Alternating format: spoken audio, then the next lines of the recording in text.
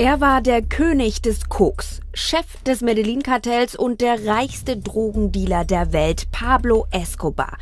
Jetzt kam es zu einem der spektakulärsten Funde der letzten Jahrzehnte in einem der Häuser des Drogenbarons. Im Apartmentkomplex im kolumbianischen Medellin findet der Neffe Nicolas Escobar unglaubliche 20 Millionen Dollar.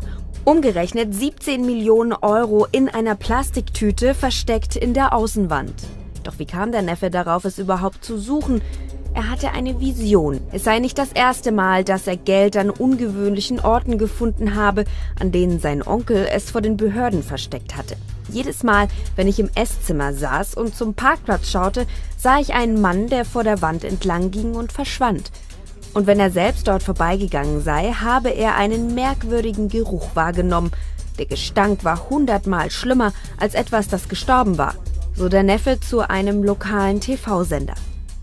Escobar, der am 2. Dezember 1993 bei einer Schießerei mit der Polizei im Alter von 44 Jahren starb, soll auf seinem Höhepunkt der siebtreichste Mensch der Welt gewesen sein. Seit seinem Tod kursieren Gerüchte über sein verborgenes Vermögen, das auf rund 50 Milliarden Euro geschätzt wird.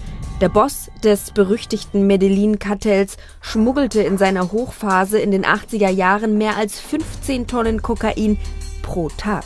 Er kontrollierte 80 Prozent des amerikanischen Drogenmarktes, damaliger Wochenumsatz rund 360 Millionen Euro. Von seinem Geld kaufte er sich Privatjets, Yachten, Rennpferde, einen Privatzoo und viele Häuser. Wir sind Bild und wir liefern dir deine News auf YouTube. Zum nächsten Video kommst du hier und vergiss bitte nicht, unseren Kanal zu abonnieren.